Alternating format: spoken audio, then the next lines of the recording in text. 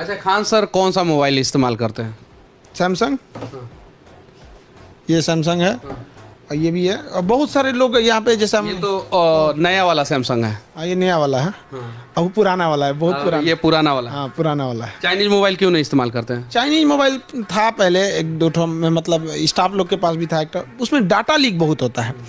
आपके अकाउंट में कितना पैसा है, उसको पता है मैसेज के थ्रू अब वो उस उस हिसाब से, उसके हैसियत के हिसाब से सबको बेच दिया ज़्यादा पैसा है तो बड़ी कंपनियों को भेजा है, छोटा पैसा है तो कम लोगों को भेजा है। आलतू पालतू मैसेज आएँगे कॉल आएँगे लकी ड्रॉ हो गया, ये हो गया, ये हो गया तो काफ़ी डाटा लीक होने की वजह से आदमी चाइनीज़ को हटा दिया।